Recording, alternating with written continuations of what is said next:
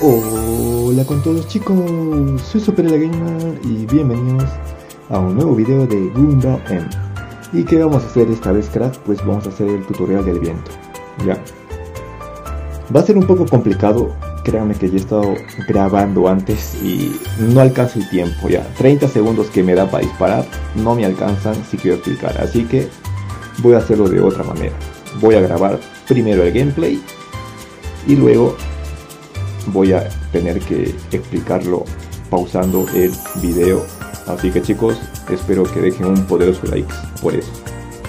Y no olviden compartir y suscribirse. Y por cierto, muchas gracias por eh, apoyarnos a Sinistro y a mí en el grupo de Gumbao M oficial en Facebook. Ya somos más de 2400, se los agradezco, así que gracias crack, se los agradecemos un montón. Ya, así que vamos para allá. Ya tengo los carros aquí. Por cierto, vamos a jugar con Armor y Oso. Ya, esos dos. Carros básicos. Em, vamos a mapa de entrenamiento.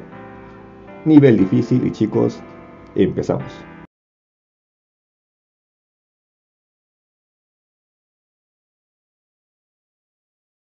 Bueno cracks, empezamos con el primer tiro siempre.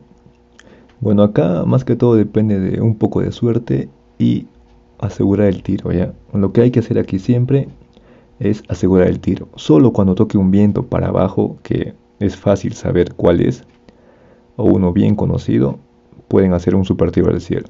Pero no es recomendable igual. Así lo único que hay que hacer aquí es apuntar directamente o en un ángulo donde sabes que va a caerle con mayor probabilidad. Así que solamente hacemos esto chicos. Ya chicos, este es un 9 para la izquierda, o sea, al lado contrario de donde estoy yo. Voy a apuntar a la group y para darle voy a tener que contar 9 espacios a partir de el centro de la group. Pero en este caso no voy a dar al centro. ¿Por qué? Porque ese 9 no está totalmente a la izquierda, sino está un poco para abajo. Entonces, para asegurar el tiro que le caiga bien, vamos a apuntarle en la cabeza de la group. ¿Ya? Y de ahí contamos 1 desde ahí hasta 9 espacios y una vez contado 9 disparamos y la bala le va a caer. Chicos, a ver, este es un 9 para arriba. ¿Cómo lo cuento yo? En resumen, para mí le voy a dar la mitad. La mitad sería 4.5, ¿verdad? Pero le vamos a dar un 5 apuntando desde el medio, ya saben. Entonces contamos del 1 al 5 para atrás, ya que el viento está empujando para adelante. Así le debería dar en la cabecita. Ahora, este es un 6 para abajo empujando un poco para la derecha, pero muy poco. Esto es muy fácil cracks, solamente tienen que darle al mismo sitio. Apuntado al mismo sitio le va a caer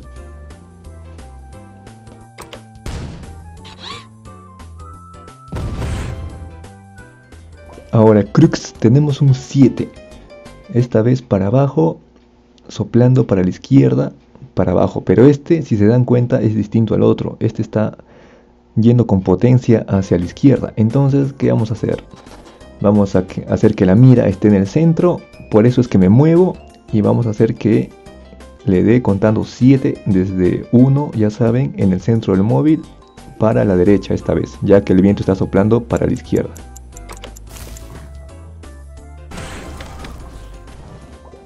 Ahora tenemos este 4 para arriba, chicos. Es un viento débil, así que esto es como si fuera un 3 para la derecha. Lo único que tienen que hacer es contar 3 espacios desde el centro del móvil para la izquierda. Cuentan 1, 2, 3 y ya está. Y le debería caer.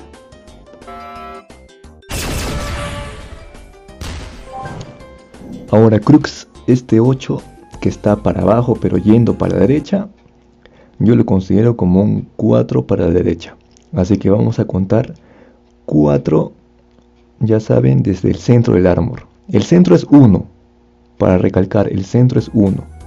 Cuentan 2, 3, 4 y esos son 4 espacios. Y eso le da en la nariz.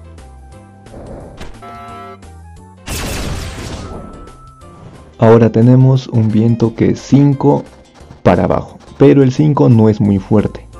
Entonces lo único que vamos a hacer es apuntarle eh, un espacio detrás de él.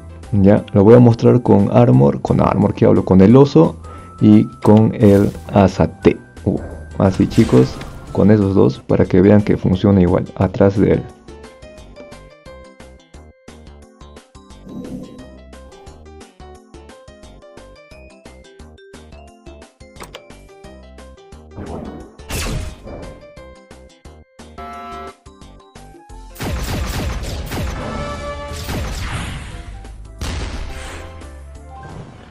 Bueno, Crux, aquí tenemos un 5 un poco para arriba. Estos son los que más me gustan porque son los más fáciles de dar.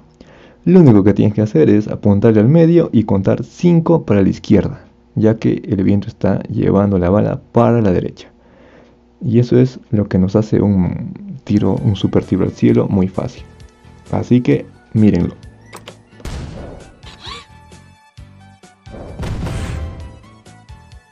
Ahora tenemos un vientito que es 8 a la izquierda, pero miren, está levantado. ¿Qué quiere decir que esté levantado? Quiere decir que no va a ir con mucha potencia hacia la izquierda. Entonces, yo a estos vientos siempre les descuento dos espacios. Entonces, en vez de contar desde el centro del móvil 1 hacia la derecha 8, voy a contar solamente 6. Y esto es, le debería caer en la cabeza. ¿Ok? Lo mismo para el Armor Cracks, contamos 6 espacios desde el centro de ese round y debería caer en la cabecita.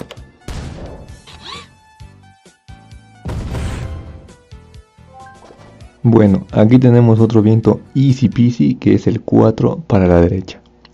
¿Qué hay que hacer? Pues que la mira está en el medio, ya saben al medio es 1, contar 4 para la izquierda ya que el 4 está para la derecha. Cuenta 1, 2, 3, 4 y ya está. Ese, esa bala le debería caer en la cabecita. Ahora tenemos un viento 6 para abajo, para la izquierda. Este viento yo lo considero como si fuera un 4, ¿ya? Entonces en vez de 6 para abajo, yo voy a contar 4 para la derecha. Contamos 1, 2, 3, 4 y eso le va a caer en la cabecita.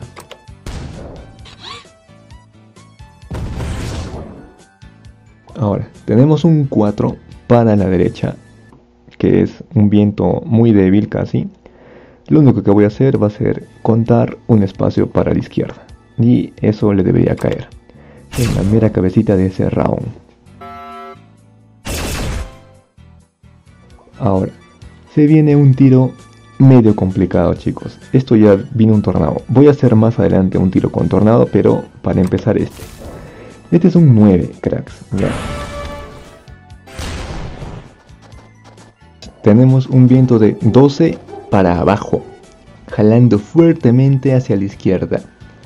Así que ese viento 12, tal cual ese 8 que yo le di 6, igual voy a descontarle 2 a este 12. En vez de contar 12, voy a darle 10 y le debería caer. Es lo mismo, crack, solamente que aumenta la potencia del viento también. Ahora tenemos un viento 11 para la derecha, pero yendo para abajo. Este 11 cracks, pues ya les dije, darle la mitad. Pero como está para abajo, esta vez voy a darle, y a favor mío, voy a darle solo 5 espacios. ¿Ya?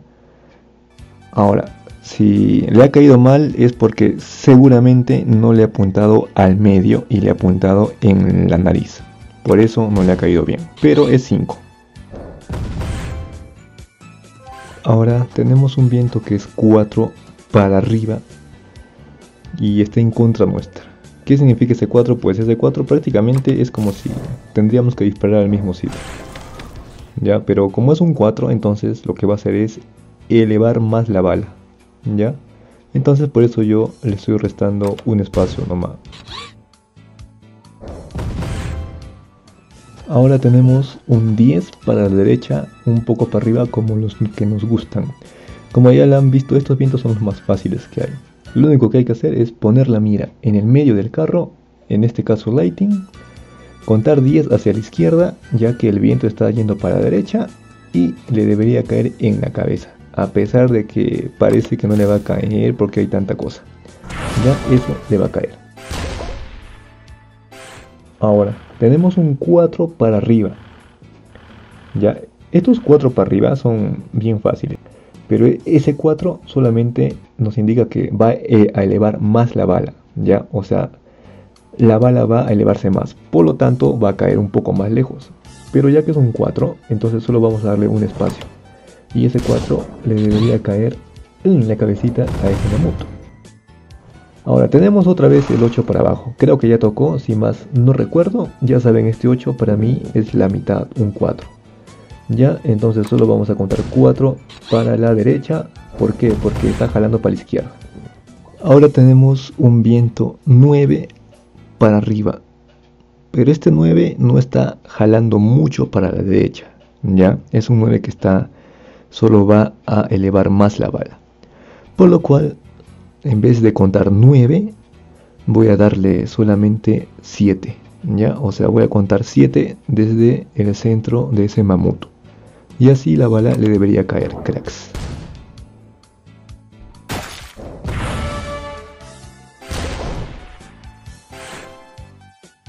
Ahora, estamos en el, en el otro lado, ¿ya? Con el ASAT. Es un viento 5 para arriba, pero no está jalando mucho. A las justas, el viento me indica que va a elevar mucho la bala. La bala va a ser empujada para la, para la derecha, por lo cual no tengo que aplicar mucha fuerza. Si aplico mucha fuerza y yo cuento 5 para la izquierda, no le va a caer esa bala en la, en la vida. Por eso solamente voy a darle 2, que es casi la mitad. Ya. No es la mitad, pero es 2. 2 y le debería caer en el centro a ese lighting.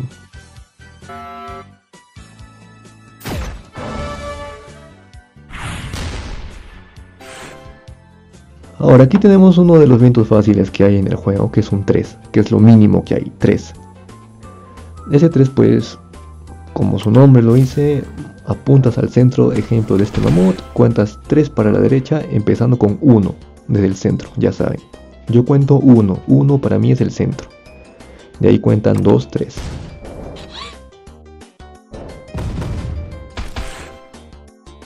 Miren, acá tenemos un viento de 8 en contra para arriba. Ese 8 en contra no es, no es que vas a contar 8 para, para la derecha, ¿ya? Porque ese 8 no está jalando para la izquierda totalmente, solo está elevando la bala y jalando un poco para la izquierda. Entonces en vez de contar 8, voy a contar solo 6 y esa bala le va a caer.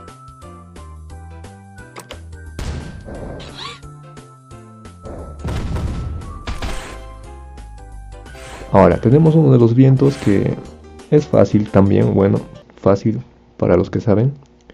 Ese 6 que indica? Ese 6 indica que la bala se va a elevar hacia arriba. Está, verdad, un poco soplando para la derecha, pero es leve. Entonces, yo a este 6 voy a darle 4. ¿Por qué? Porque al, elevar mucho la bala, pues va a caer también un poco más lejos. En, si yo le diera 6 aquí, no va a caerle. Entonces tengo que darle 4.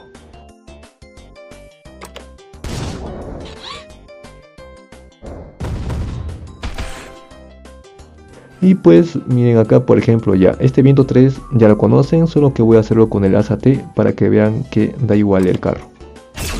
Claro, de los que tiran una bala normal, ¿no?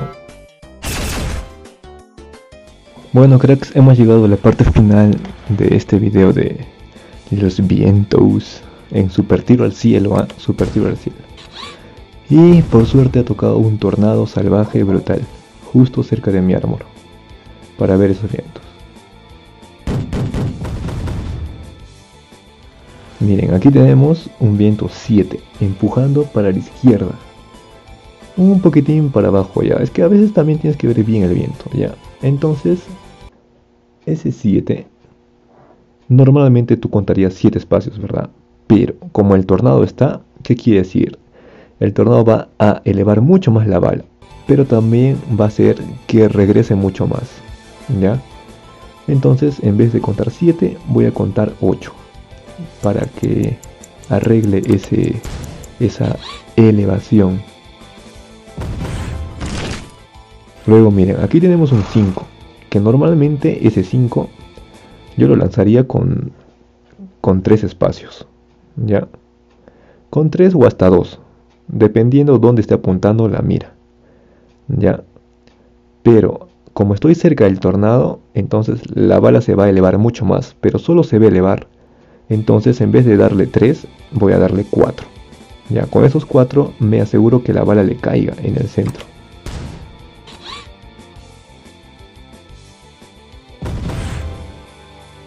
Ahora, nos ha tocado un 4, muy parecido al 5 del anterior.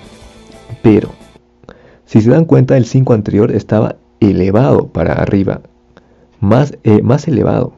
Este 4 está un poco más para la derecha, lo cual esto es un 2, ¿ya? Esto es un 2 en, eh, si es que no hubiera tornado ya, pero vamos a darle 4 aquí a este. ¿Para qué? Para que caiga en el mismo lugar. Ya, ahora miren, ha caído mi asa T. Ese viento 6. Mm, ese viento ya les he dicho que solamente tienen que restar dos espacios, ¿verdad? Entonces, contamos 4. 1, 2, 3, 4 y ¡plim!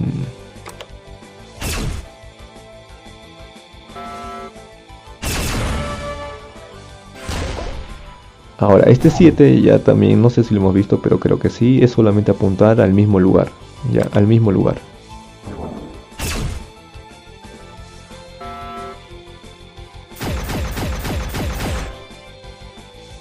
Y cracks, por último, tenemos este 8 en negativo hacia mi lado, hacia la izquierda. Esto también es un 4. La verdad, esto sería un 6. Pero como está arriba, entonces voy a darle 4. ¿Por qué le voy a dar 4? Porque está arriba. O sea, la bala no va a hacer todo el recorrido. Eso también tienen que pensar, chicos. Tienen que tener criterio. Ya no es solo contar y ya. Tienen que tener criterio en la posición en la que está el móvil, en dónde están ustedes y, caso fuera con, contrario, pues lo mismo. Tienen que calcular eso. Tienen que, calcular ese margen de error, Bueno chicos, espero les haya gustado este video tutorial de cómo disparar en Super Turbo al cielo by Super L Gamer. No olviden dejar un gran super like chicos, suscribirse, compartir. Ahora espero que no encontrarme con gente random que no sepa disparar, cracks. Y nos vemos en un próximo video, cracks. Adiós.